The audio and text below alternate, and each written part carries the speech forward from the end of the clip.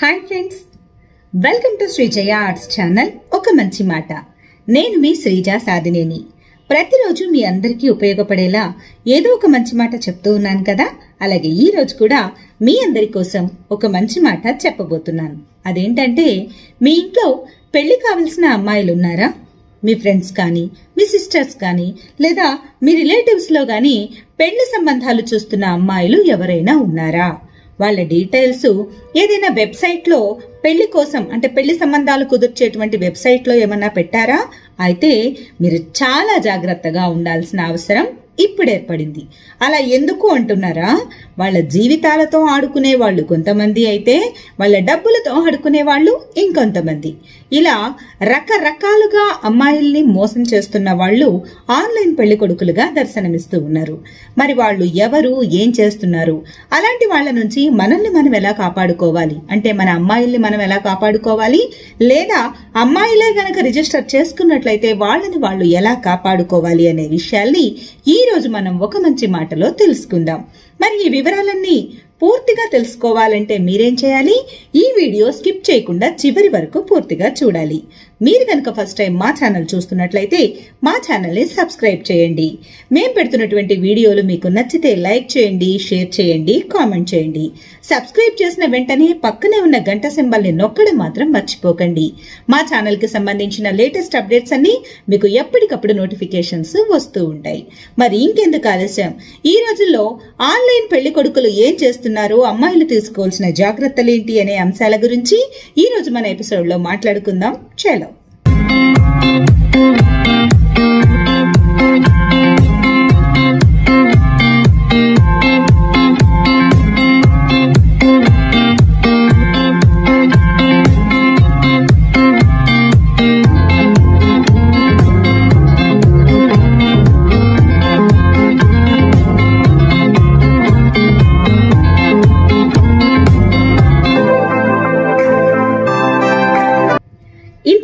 కాలంలో పెళ్ళి సంబంధాలు చూడడానికి పెళ్ళిళ్ళ పేరయ్య అనే వాళ్ళని పిలుస్తూ ఉండేవాళ్ళు. అంటే మ్యారేజ్ బ్రోకర్స్ అన్నమాట. వీళ్ళని మరి మ్యారేజ్ బ్రోకర్ అన్నా కూడా బాగోదు. ఆ బ్రోకర్ అంటేనే మళ్ళీ ఇంకొకలా అనిపిస్తుంది కాబట్టి మ్యారేజ్ కన్సల్టెన్సీ లేకపోతే మ్యారేజ్ ఏజెన్సీ లాంటి మాటలతో మనం వాళ్ళని పిలుచుకోవచ్చు. అంతవరకు బానే ఉంది. ఎందుకంటే ఆ సంబంధాలు కుదిర్చే వాళ్ళు అటు అమ్మాయి ఇంటికి వెళ్తారు ఇటు అబ్బాయి ఇంటికి వెళ్తారు కాబట్టి కొద్దిగా కాకపోతే కొద్దిగా అయినా వాళ్ళ గురించి వివరాలు తెలుసుకునే అవకాశం ఒక ఫిఫ్టీ పర్సెంట్ వరకు ఉంటుంది. కానీ ఇప్పుడు టెక్నాలజీ డెవలప్ అయిపోయిన తర్వాత రకరకాల మ్యాట్రిమోనీలు వెబ్సైట్లు దర్శనమిస్తూ ఉన్నాయి. ఓకే ఈజీ పని కదా. ప్రతి ఒక్కళ్ళ చేతిలో మొబైల్ ఫోన్ ఉంటుంది అందులో నెట్ ఉంటుంది. అందులో ఏది కొట్టినా సరే జై గూగుల్ తల్లి అనగానే గూగుల్లో రకరకాల వెబ్సైట్లు మనకి కనిపిస్తూ ఉంటాయి కాబట్టి మనం ఈజీగా అందులోనే రిజిస్టర్ అయిపోవడము లేదా అందులోనే డబ్బులు కట్టి రిజిస్టర్ అయ్యేవి ఉంటాయి ఫ్రీగా రిజిస్టర్ అయ్యేవి ఉంటాయి కాబట్టి మనకి మనమే రిజిస్టర్ అవుతున్న వాళ్ళు ఉన్నారు. లేదా మన సిబ్లింగ్స్ అంటే బ్రదర్స్ అండ్ సిస్టర్స్ కావచ్చు పేరెంట్స్ కావచ్చు ఫ్రెండ్స్ కావచ్చు రిలేటివ్స్ కావచ్చు ఎవరో ఒకళ్ళు ఆ ప్రొఫైల్ని అందులో రిజిస్టర్ చేస్తూ మన డీటెయిల్స్ అన్నీ అప్డేట్ చేస్తూ ఉంటారన్నమాట. యూజర్ ఐడి పాస్వర్డ్ తెలుసు కాబట్టి ఎప్పటికప్పుడు వాళ్ళు చెక్ చేసుకునే ఫెసిలిటీ ఉంది. ఓకే. పెద్దవాళ్ళు చూస్తున్నా లేకపోతే సిబ్లింగ్స్ చూస్తున్నా ఫ్రెండ్స్ చూస్తున్నా ఎవరికి వాళ్ళు సెల్ఫ్గా రిజిస్టర్ చేసి చూసుకుంటున్నా కూడా అవతల నుంచి వచ్చే ప్రొఫైలు మనకి కరెక్టా కాదా? అంటే మన ఏజ్ ఎంత? ఏజ్కి దగ్గరగా ఉందా లేదా? మన క్యాస్ట్ ఏంటి? సేమ్ కాస్టా లేదా రిలేటెడ్ క్యాస్ట్లో ఉన్నామా లేదా?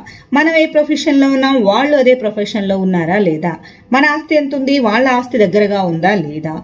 మనం అనుకుంటున్న అభిరుచులకి వాళ్ళు సెట్ అవుతున్నారా లేదా? ఇలాంటివన్నీ కూడా కంపేర్ చేసి చూసుకుంటున్నారే. కానీ అసలు వాళ్ళు చెప్తున్న వివరాలన్నీ కరెక్టా కాదా?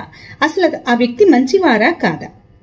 అని ఎలా తెలుస్తాయి వెబ్సైట్లో తెలియదు వాళ్ళతో చాటింగ్ చేసి ఫోన్లో మాట్లాడుకుంటే తెలియదు కాబట్టి ఇంకొంచెం జాగ్రత్త పడాల్సిన అవసరం ఆడపిల్లలకి ఎంతైనా ఉంది.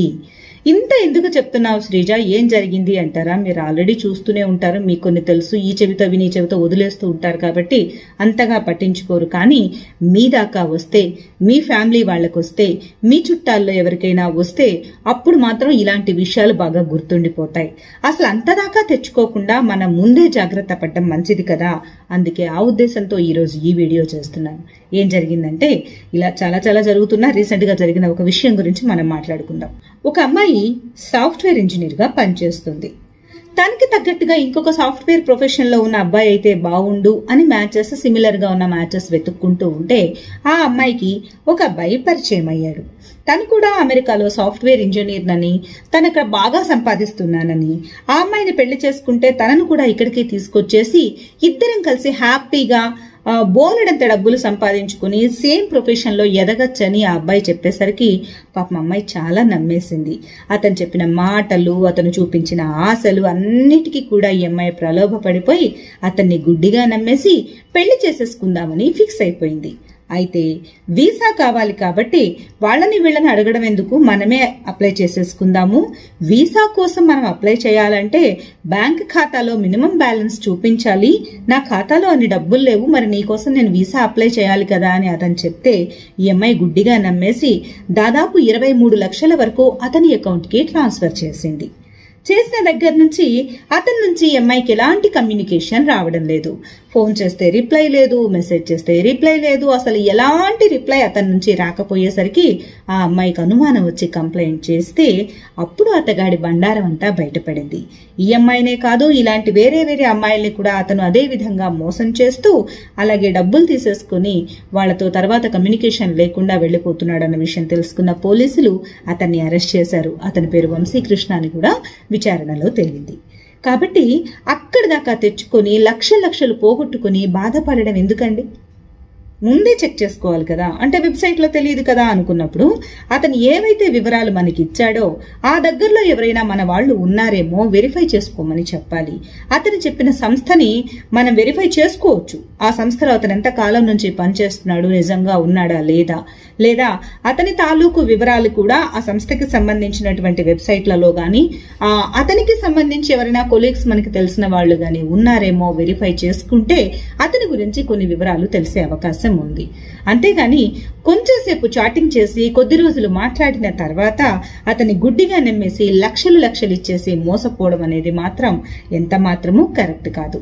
కాబట్టి జాగ్రత్త పడండి. అమ్మాయిలైనా వాళ్ళ పేరెంట్స్ అయినా వాళ్ళ సిబ్లింగ్స్ అయినా ఎవరైనా సరే మీరు చేయాల్సింది ఏంటి అంటే అవతల వారి ప్రొఫైల్ ఏంటి అనేది పూర్తిగా చూడకుండా అతని గురించి పూర్తి వివరాలు తెలుసుకోకుండా మన పూర్తి వివరాలు వాళ్ళకి ఇచ్చేయడము లేకపోతే మన బ్యాంకు నుంచి వాళ్ళు అడిగిన అమౌంట్ ట్రాన్స్ఫర్ చేయడము ఇలాంటివేవి చేసి తర్వాత మోసపోయి లబోదిబోమని మొత్తుకుంటూ అప్పుడు కంప్లైంట్లు ఇచ్చుకునేదాకా తెచ్చుకోకండి.